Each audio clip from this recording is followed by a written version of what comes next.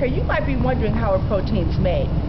Well, each protein is made up of a sequence of amino acids that are joined together.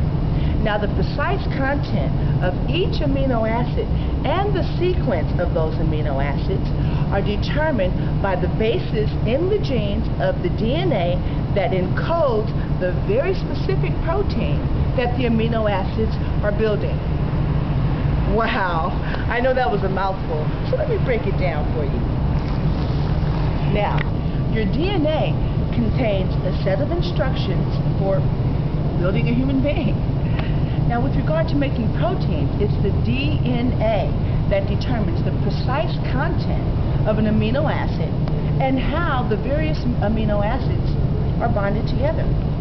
Now, during this extensive, detailed, and very precise process of these amino acids coming together or bonding, they bend and fold into very specific shapes or configurations that are also determined by the original sequence. And there you have protein.